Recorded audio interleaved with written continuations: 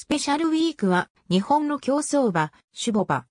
主な勝ち倉は1998年の東京優春、1999年の天皇賞、ジャパンカップ。TM オペラ王に記録を更新されるまで、当時の日本最高賞金獲得馬であった。1995年、北海道門別町の日高太陽牧場にて誕生。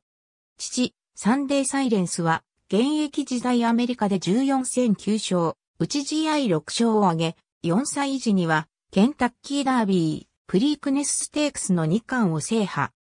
3冠を狙ったベルモントステークスは、ライバルのイージーゴアに敗れたものの、この年の全米年度代表馬に選出されている。母、キャンペーンガールはデビュー前に、厩舎の洗い場で暴れて、怪我をしてしまい未出走で終わっているが、祖祖母に、名品、白置きを持つ血統の良さから、繁殖牝馬としての期待は高かった。前年の12月、母キャンペーンガールは本馬の受胎中に急に戦痛の回数が増えるようになり、周期も徐々に短くなっていった。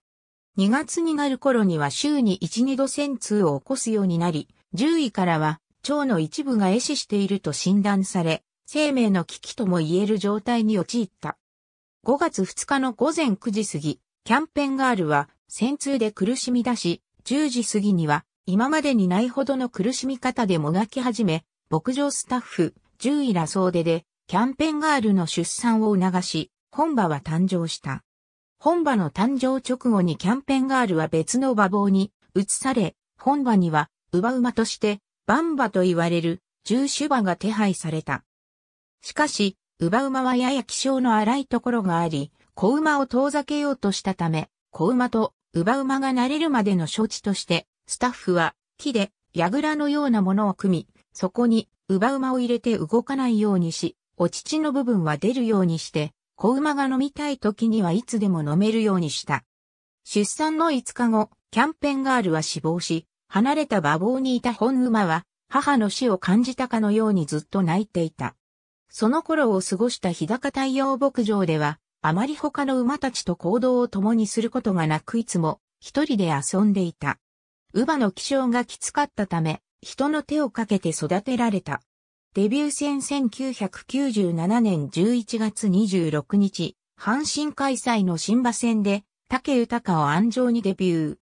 追い切りの時計の良さから、直前の単勝オッズは1.4倍の一番人気に支持され、2番人気の対抗馬と目されていた。タックスパラダイスは4.8倍、3番人気のレガシーハンターは7.5倍と大きく離れていた。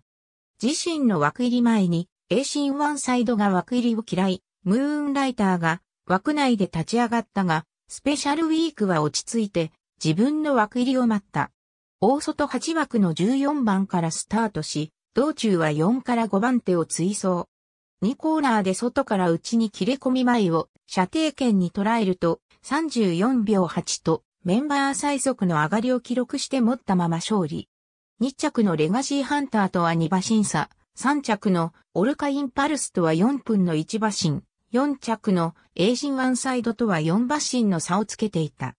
勝ちタイムは1分36秒9で、当日はやや18票ながら次のレースは不良馬場となるほどの雨が降る中での好タイムであった。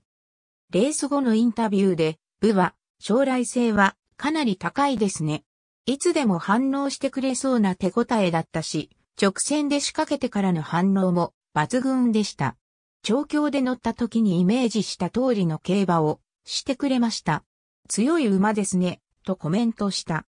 年明け、1998年1月6日に京都競馬場で行われた自己条件戦の白梅賞は予定を一周早めての出走で一番人気に押されたが、14番人気の竹幸四郎騎乗の地方馬、旭クリークの花差2着に敗れる。1月31日の椿賞を除外されその翌週に行われた木更木賞に格上挑戦し重賞制覇を達成。続く、弥生賞も両決馬キングヘローやデビューから2戦2勝の西ブンスカイを破ってクラシック戦線の主役に躍り出た。同世代には外国サンバのエルコンドルパサーやグラスワンダーがいたが、当時は外国サンバにはクラシック競争への出走が認められていなかった。皐月賞同年4月19日に中山競馬場で行われた皐月賞では単勝一番人気に押されたが、西文スカイの3着に敗れた。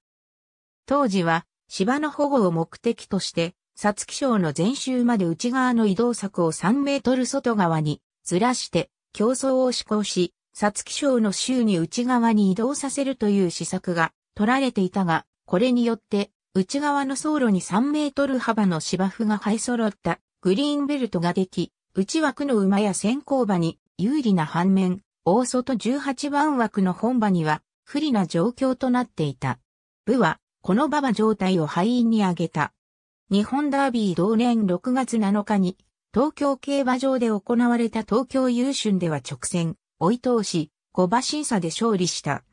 部にとってこれが自身初のダービー制覇となった。部は興奮のあまり無知を落としており、杉本清によると、レース後部に、無知、どうしたの？と聞くと部は、その辺に忘れましたと答えたという。菊花賞秋初戦の京都新聞杯ではキングヘイローを首差で抑えて勝利した。同年11月8日に京都競馬場で行われた菊花賞では、セイウンスカイの世界レコードでの逃げとコース設定の前に屈し、2着に敗れた。ジャパンカップ1998年11月29日に東京競馬場で行われたジャパンカップでは、菊花賞前日の第3レース新馬戦でアドマイヤベガに騎乗した武氏は、膠着処分を受け6日間の騎乗停止処分を下されていたため、岡部幸雄が乗り換わりで騎乗した。単勝一番人気に支持されたものの、エルコンドルパサー、エアグルーブに次ぐ3着に終わった。年明けに馬主権利の半分が、八代大グループに4億5千万円で譲渡される。オリビエ・ペリエとのコンビで挑んだ初戦のアメリカジョッキークラブカップは3馬審査の解消。竹豊に安城が戻った阪神大賞典では、前年の天皇賞に勝ったメジロブライトを破った。天皇賞でも直線でメジロブライトの追撃を1、2馬身を抑えて勝利した。宝塚記念陣営は年内引退を発表。また、凱旋門賞挑戦プランも掲げられ、その走行レースとして宝塚記念に出走した。宝塚記念のファン投票では1位に選出され、スペシャルウィークに次ぐ第2位にはグラスワンダーが選ばれた。4月から長期ヨーロッパ遠征に赴いたエルコンドルパサーや天皇賞2着のメジロブライト、同3着のセーウンスカイといったメンバーを書いたものの、スペシャルウィークとグラスワンダーの初対戦は大きな注目を集め、スポーツ紙は2強対決、GS 対決などと書き立てた。当日の人気はスペシャルウィーク1.5倍、グラスワンダー2.8倍の順となり、3番人気、大隅ブライトは15.9倍と大きく離れていた。スタートが切られると、スペシャルウィークが4から5番手、グラスワンダーはそれを見る形で進んだ。第3コーナーから最終コーナーにかけて、スペシャルウィークは先に進出を開始し、一時、グラスワンダーを突き放したものの、最後の直線に入って、残り200メートル付近で捉えられた。それまで後ろから刺された、経験のなかったスペシャルウィークに対して、グラスワンダーは最後は3馬審査をつけ優勝。3着ステーゴールドは、さらに7馬身後方であった。3馬身という差をつけられた結果を受けて、白井は、マークされたのは確かでも、反対に相手にマークして進んだとしても、今日は勝てなかっただろう。こんなボコボコした馬場は合わないが、あの馬の瞬発力が上だった。部は、並ばれた時にもう手応えが違った。乾杯だとコメントした。一方で、グラスワンダー安城の的場仁氏は、今日は束の動きは気にせずに自分のペースを守ろうと思っていたが、少し前にスペシャルウィークがいたのでレースを組み立てやすかった。ただ、4コーナーでスペシャルウィークに手応えよく離されてしまった時はどうかなと思ったが、直線を向くと伸びあぐねていたから勝てると思った。あそこからは手応え通りの内容。強い勝ち方だったと思うなどと感想を述べた。この敗戦を受けて、エルコンドルパサーも目標としていたフランス、凱旋門賞への遠征は立ち消えとなった。京都大商店、有馬記念秋初戦の京都大商店では、今までで最高体重となる 486kg で挑み、最終コーナーを2番手で通過したものの直線では、追われてから全く伸びず、キャリアで唯一の掲示板外となる7着に終わった。この頃から調教で動かなくなり、自走の天皇賞でも直前の調教では500万、条件の馬に負けた。レース当日の馬体重は、前走から 16kg 減の 471kg だったが、馬体重が大幅マイナスになったのは、ダービー時の体重まで近づければ、本来の走りを取り戻すかもしれない。と考えた陣営が、体を絞ったためであった。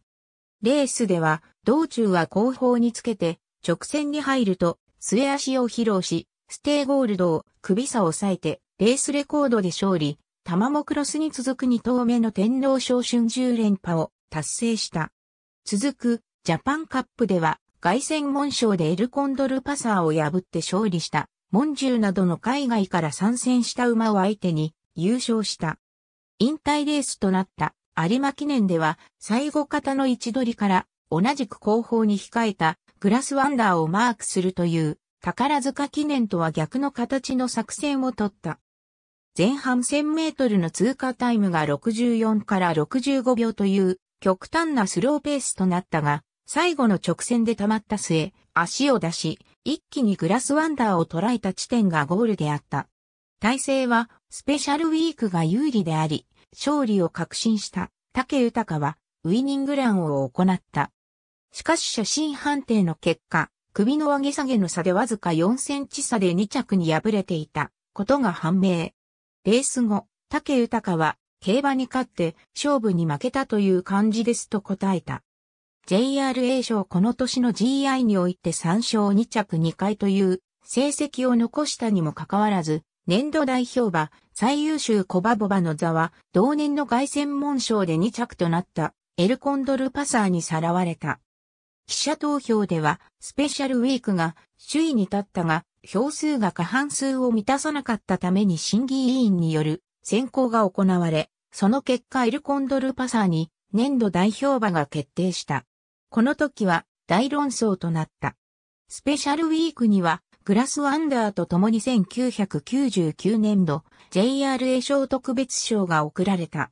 現役時代の JRA 賞はこの一つだけである。2000年1月5日に京都競馬場、翌6日には中山競馬場の計2カ所で引退式を行った。引退後は種ボバ入りし、北海道の八代台スタリオンステーションにつなぎをされた。2003年に3区がデビュー、山人ラファエルが3区初出走で初勝利を収めたが、初年度3区は外して出世が遅めであった。しかし2年目の3区がそれを覆し、スムースバリトンが2004年の東京スポーツ杯2歳ステークスで中央競馬の重賞を初制覇すると、シーザリオが2005年の優春牝馬を優勝し、3区初の GI 勝利を挙げた。シーザリオは、同年のアメリカンウォークスインビテーショナルステークスも優勝し、3区初の国際重賞勝利のみならず、父内国産馬としても、日本のクラシック馬としても初の日本以外の国際 GI 制覇となった。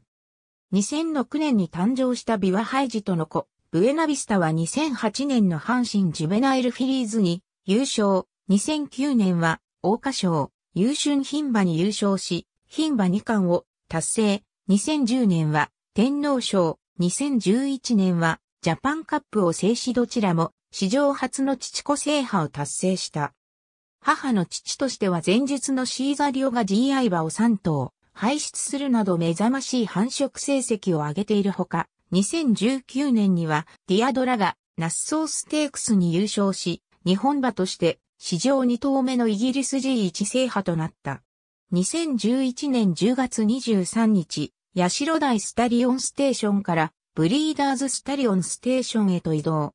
2012年からは同ステーションにて種牡馬を続けることとなったが、シーズン途中で再び、ヤシロダイスタリオンステーションに戻る形となった。そして同年11月に2013年シーズンからレックススタッドでのつなぎ用が決定し、翌12月に同スタッドへ移動した。2017年2月3日、17年に及ぶ守護場生活を引退し、生まれ故郷の日高太陽牧場で余生を送る。2018年4月27日、同牧場の馬房内で転倒しているところをスタッフにより発見され、16時40分頃死亡が確認された。23歳没。死亡する4日前の同月23日に放牧中の転倒で左腰を強打したため、経過観察中であった。タイムランの R はレコード価値を示す。太字は GI 競争。競争名の前の国旗は開催国国内限定格付けを含むは地方重賞を示す。ありがとうございます。